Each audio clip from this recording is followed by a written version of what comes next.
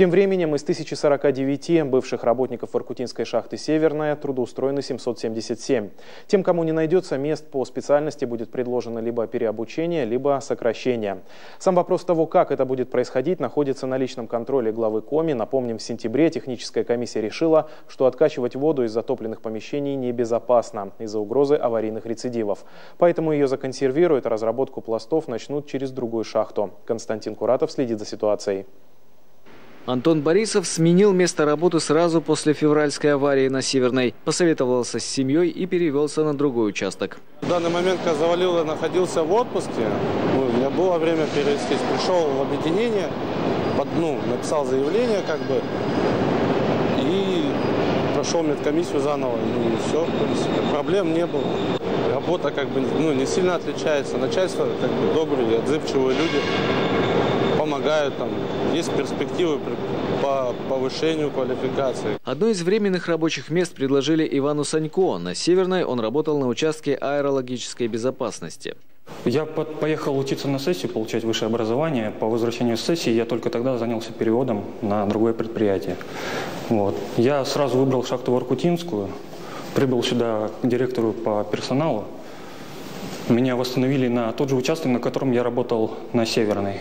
Я зарекомендовал себе на участок конвейерного транспорта, и на данный момент я перевелся на постоянное время работы шахта Воркутинская горным мастером участка конвейерного транспорта.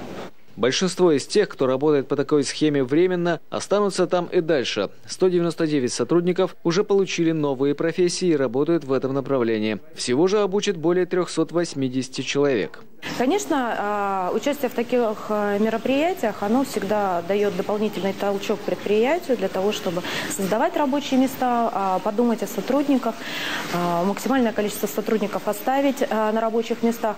Что касается остальных, ситуация следующая. Трудовой договор по различным причинам расторгнут со 117 сотрудниками аварийной шахты. 17 человек в связи с отказом работника от перевода на другую работу, необходимо ему в соответствии с медицинским заключением, либо отсутствие у работодателя соответствующей работы, необходимо ему в соответствии с медицинским заключением. Еще 76 человек по соглашению сторон с выплатами со стороны предприятия. 20 человек ушли по собственному желанию. Один человек в связи со сменой сменой места жительства. Еще один за прогул. Один человек по причине осуждения работника к наказанию, исключающему продолжение прежней работы, в соответствии с приговором суда, вступившим в законную силу. Один человек в связи со смертью работника. Из числа уволившихся по различным причинам из шахты «Северная» 74 человека – граждане пенсионного и предпенсионного возраста.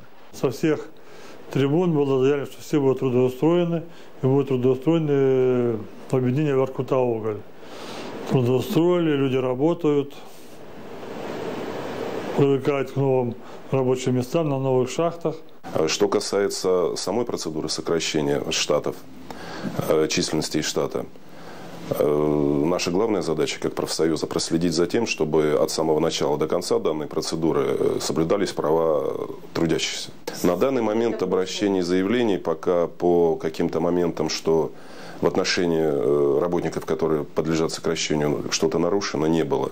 Люди обращаются с вопросами, как правильнее сделать, а правильно ли они делают свои действия, правильно ли работодатель поступает, обращаясь э, к ним с теми или иными предложениями. Мы стараемся людям разъяснить э, и помочь в данной ситуации.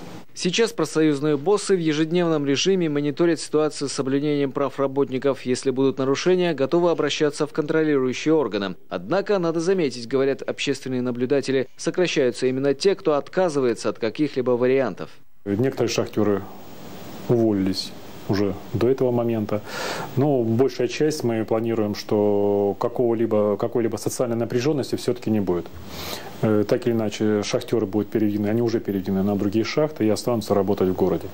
Э, что касается контроля, понятно, здесь контроль будет и как со стороны города, так и со стороны правительства. Однако даже кто сейчас останется не у дел, по планам предприятия в конце 2017 года будут новые лавы, и тогда снова потребуется наращивать силы квалифицированными рабочими. Константин Куратов, телеканал «Юрган».